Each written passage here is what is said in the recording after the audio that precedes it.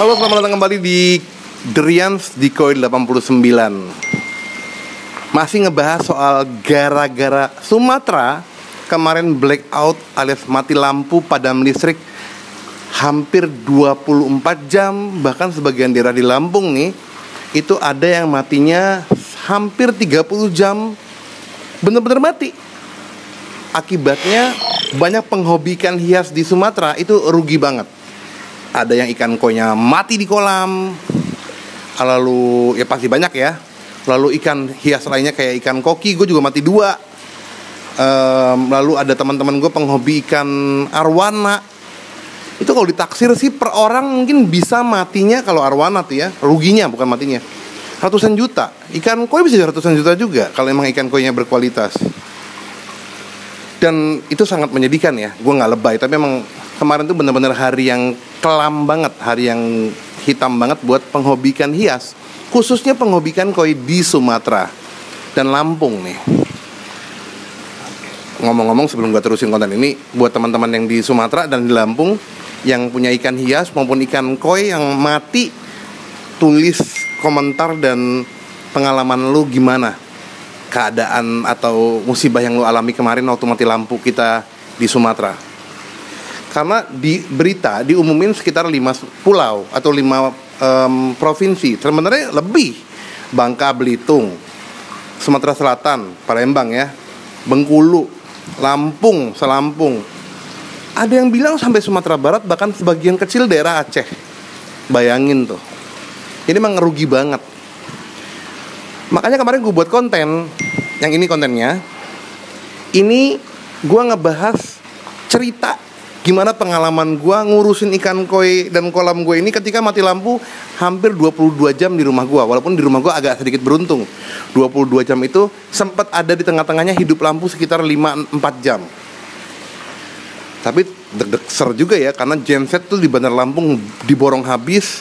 Lalu mau nyewa genset 12 jam yang wattnya kecil itu bisa 1,5 juta. 12 jam bukan 24 jam satu hari. Gila ya itu manusia tuh. Kalau udah mulai sesuatu um, diperlukan pada jahat. Iya. Dulu covid masker dijual mahal 5000 satu masker biasa doang. Kalau lu bilang wajar ya nggak wajar ya. Itu emang sifat dasar manusia. Rakus dan tamak. Kembali ke soal ikan koi. Setelah gue buat konten kemarin ikan gue kira selamat. Seperti biasa ikan pasti akan gue puasakan. Karena pengalaman nih buat teman-teman ada sesuatu dengan ikan koi kita, baik itu gempa bumi atau dia sakit atau hujan terus menerus, perubahan hujan panas hujan panas atau seperti kemarin mati lampu yang akibatnya aerator gua kagak hidup, dia bertahan hidup, kurang oksigen, tapi kan stres. Pasti harus kita puasakan minimal tiga hari sama kita observasi. Ada tanda-tanda sakit nggak nih? Kalau perlu lu tambahin 5 sampai 7 hari lu puasain. Kenapa teman-teman? Karena kadang-kadang bukan kadang-kadang sih, tipikal ikan koi itu begini. Ketika dia merasakan sesuatu yang membuat dia tidak nyaman kayak kemarin kurang oksigen gara-gara mati lampu ya blackout di Sumatera. Dia kurang oksigen, imunnya turun, stres. Ketika imun terus apa ketika imun turun ikan koi teman-teman. Ingat ikan koi ini di kolam ini sebenarnya udah banyak bakteri, udah banyak parasit. Tapi selama ini mungkin karena imunnya bagus dia ngelawan banget tuh imunitas tubuhnya.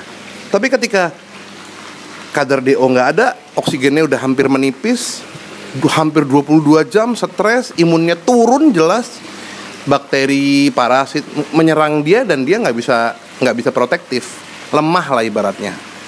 Nah kejadian kemarin gue puasan tiga hari nih kolam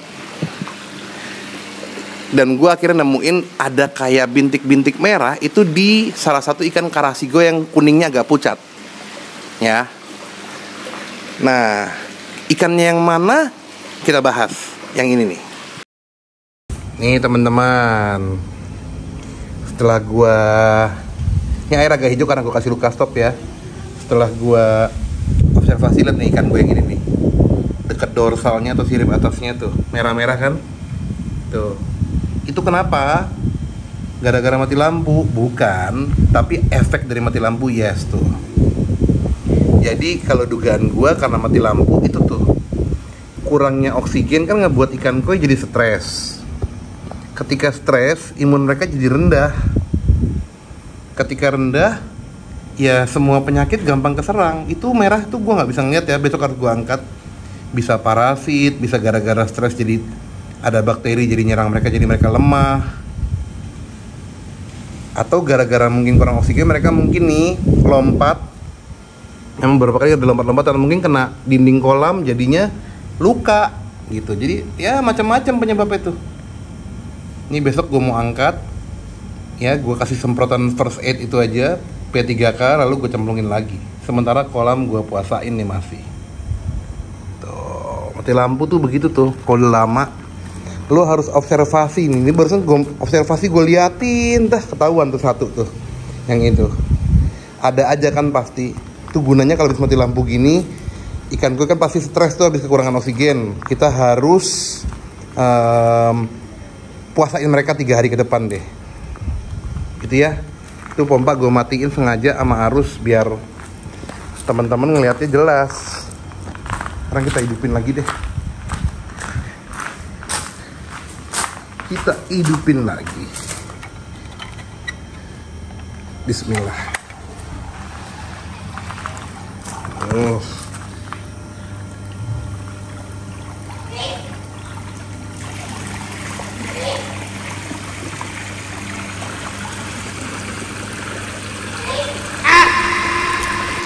Nah, itu ikan gue yang karasi ya. Akhirnya gue puasain tuh. Sejak gue buat video tadi, tiga hari kemudian, yaitu hari ini. Hari keempat malah nih. Empat hari kemudian. Setelah gue puasain, gue cek tadi pagi. Aman-aman aja. Berkurang 90% bintik-bintik merah tadi. Berarti bukan parasit. Gue hampir bisa tebak itu mungkin cuman ya mungkin bakteri atau virus ya. Bikin dia infeksi aja. Atau mungkin lompat. Waktu mati lampu kan dia stres sampai lompat mungkin memar ke kena dinding kolam. Pokoknya intinya setelah gue puasain dia membaik 90% jadi nggak perlu ada treatment khusus. Gue obatin lah gue angkat gue kasih obat. Ya nggak perlu deh. Nggak usah lebay ngerawat ikan koi. Iya. Tapi yang deg-degan adalah hari ini gue nemuin justru ikan gue yang lain itu punya merah gede gini nih. Tuh sekuku lah. Sekuku jempuk sekuku kelingking. Merahnya sisiknya agak mengangkat, agak menebal. Kecurigaan gue adalah itu kutu atau infeksi lainnya juga. Akhirnya gue beraniin harus gue ambil treatment khusus. Kalau gue amanin di kolam dong gue posain sembuh sih, cuman lama. Dan takutnya kalau itu virus atau bakteri bisa nular. Jadi tadi gue um, treatment khusus gue angkat gue obatin dengan macam-macam obat-obatan ada obat-obatan dari demam akuatik yaitu first aidnya ada dari Aquamed itu gue gunain Aqua Plus-nya. Dan obat biusnya juga ya karena tadi kan gue agak susah kalau gue tanganin langsung treatment pakai jaring di kolam. Akhirnya gue angkat ke bak karantina itu. Ya bak kecil lah. Gue kasih um, obat bius lumayan agak banyak. Karena ingat ya ikan koi kalau ngasih obat bius lu sebenarnya harus sesuai takaran. Jangan niru gue nih gue salah. Nah gue menggunakan obat biusnya agak banyak karena ikannya juga bodinya besar akhirnya gue treatment deh. Yuk kita lihat yuk treatmentnya gimana.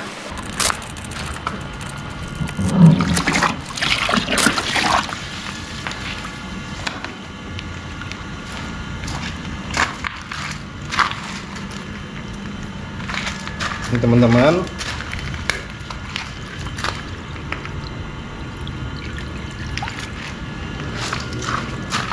Kita tunggu sampai agak santai ya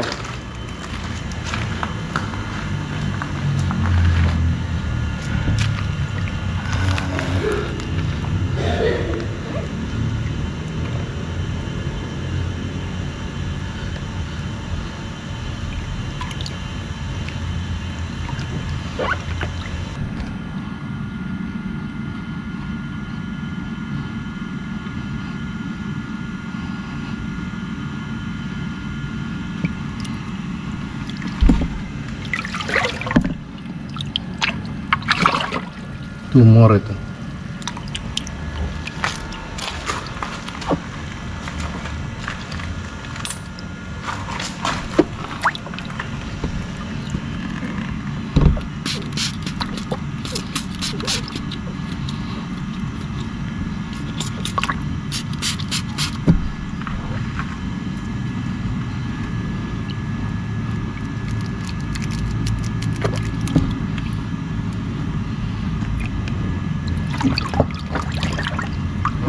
belum bintang pingsan buset dah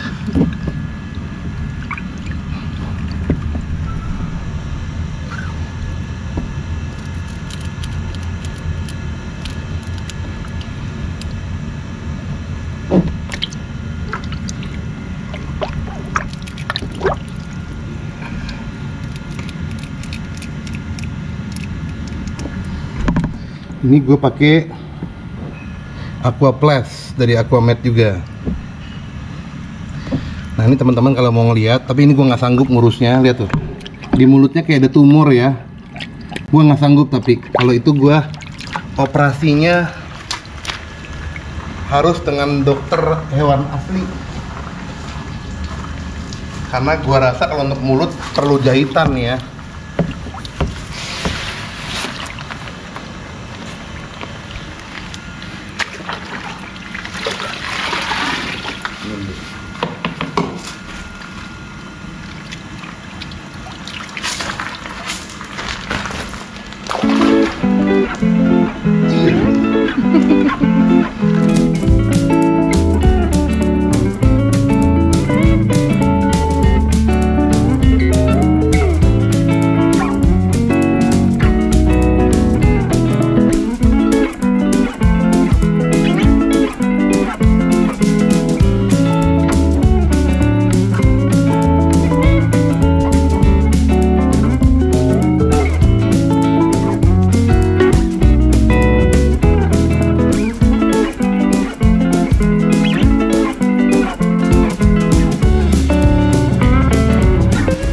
kan treatmentnya.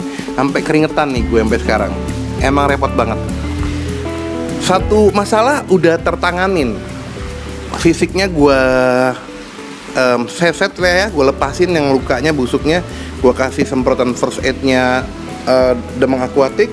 Lalu gue kasih aqua plus yang jadi masalah adalah tadi seperti lu nonton di video gue melihat ada kayak benjolan. Sebenarnya udah lama gue lihat itu tapi dulu kecil gue pikir kayak sumbing ya. Iya. Ternyata sekarang makin besar. Dan gue duga gue bukan dokter hewan itu tumor. Kalau gue ngambil tindakan atau treatment sendiri gue nggak sanggup.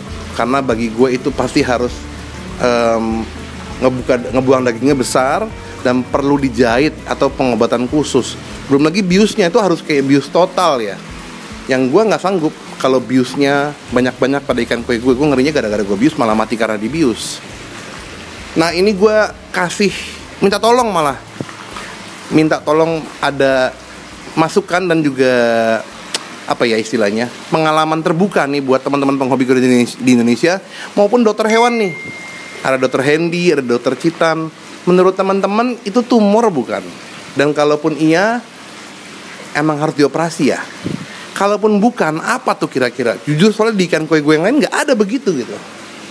Jadi dan itu ikan koi kesayangan gue ya. Bukan sombong serius. Tapi itu memang import sertifikat sih nggak penting tapi emang ada dari Dainichi Jepang langsung. Dan gue meliharanya dulu dari size sekitar 28 sentian. Sekarang udah size 72an tuh. Gitu sih teman-teman. Mohon doa ya semoga yang tadi di badan itu sembuh yang di mulutnya itu gue dapat jawaban dari teman-teman. Menurut teman-teman kira-kira itu tumor atau apa dan gimana treatmentnya?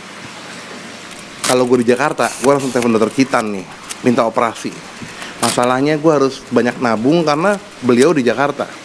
Harus gue beliin tiket pesawat akomodasi belum fee-nya dan obat-obatannya. Jadi gue harus cukup menguras uang. Semoga gue ada duit ya doain ya ada rezeki kalau di Lampung ada dokter hewan yang khusus atau bisa nanganin atau mau nanganin ikan koi mau banget gue panggil nih. Gue budgetin deh. Tapi kalau di luar kota kan memang cukup menguras ini ya uang. Makanya kalau ada penghobi ikan koi di Lampung atau Bandar Lampung yang mau join yuk kita ngundang dokter Citan misalnya tiga orang treatment di kolam masing-masing tiket pesawat sama hotelnya kita urunan patung-patungan. Seru kan jadi murah. Siapa tahu. Jadi teman-teman semoga bermanfaat konten ini. Sampai ketemu lagi di konten-konten berikutnya soal merawat ikan koi dan ikan koki. Nanti akan gue berbagi lagi beberapa konten selanjutnya. Seru-seru nih. Satu gue mau ngebahas soal merawat ikan koi jangan lebay. Karena banyak yang lebay. Lebay gimana sih nanti kontennya tunggu. Dan yang kedua adalah um, penggunaan mesin aerator pada kolam harus tepat. Karena banyak yang kekecilan banyak yang kegedean. Apa dampak buruknya? Ada.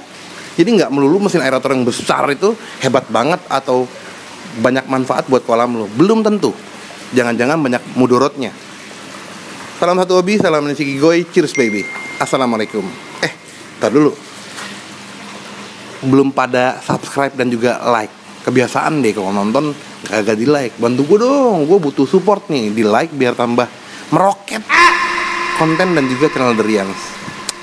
Bye bye.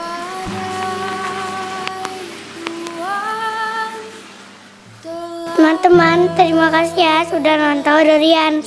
Jangan lupa subscribe, like, and share ya. Doakan kami bisa naik haji sekeluarga ya. Wassalamualaikum warahmatullahi wabarakatuh.